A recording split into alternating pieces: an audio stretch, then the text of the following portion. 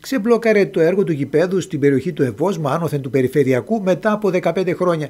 Συγκεκριμένα εξασφαλίστηκαν τα πρώτα 150.000 ευρώ για την επικαιροποίηση της μελέτης του σταδίου, το οποίο είναι το πρώτο και καθοριστικό βήμα για να ξεκινήσουν οι εργασίες από περάτωσή του μετά τη δέσμευση του αρμόδιου Υπουργού Άδων Γεωργιάδη για την ένταξή του στο πρόγραμμα δημοσίων επενδύσεων για τη χρηματοδότησή του. Και εντός του 2022 στόχος μας είναι να ολοκληρωθούν οι γραφειοκρατικές διαδικασίες, ώστε μέσα στο 2023 να γίνει η δημοπράτηση, η ανάδειξη και η αποπεράτωση του σταδίου.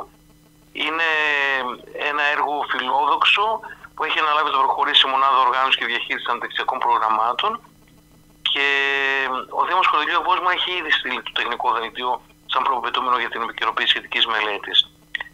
Το στάδιο περιλαμβάνει 5.000 θέσεις με κουλουάρ στίβου υψηλών προδιαγραφών, γήπεδο ποδοσφαίρου, αποδητήρια, κερκίδες και γραφεία. Όπως ανέφερε ο κ. Μαδαλιάνο, είναι ένα σημαντικό έργο το οποίο θα συμβάλλει με τον πλέον καθοριστικό τρόπο στη βελτίωση των αθλητικών υποδομών στη Δυτική Θεσσαλονίκη.